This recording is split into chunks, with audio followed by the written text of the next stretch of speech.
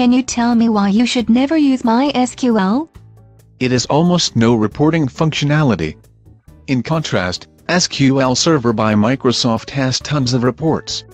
They want you to see how good their system is in lots of different pretty pictures, given how much you paid for it.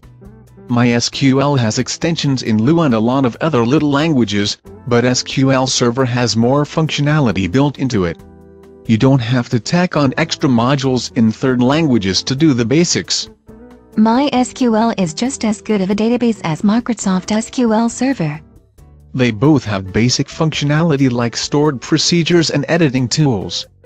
But MySQL lacks the tools that keep a database admin sane. What are some reasons I should use MySQL's competition? Oracle is much more mature. It has been around 30 years.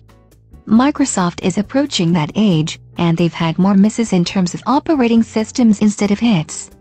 Oracle and SQL Server are designed to be scale-able to the enterprise level, that is, used by big companies. MySQL databases may not handle billions of entries after you've processed tens of millions of users.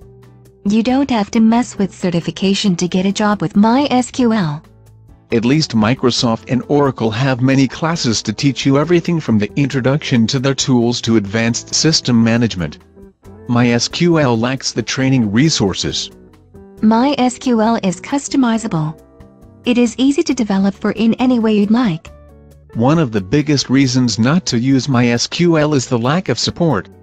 At least you can call in Oracle or Microsoft's experts if their stuff blows up or the data is corrupted after a migration. Companies like not having to pay a qualified DBA 150k a year.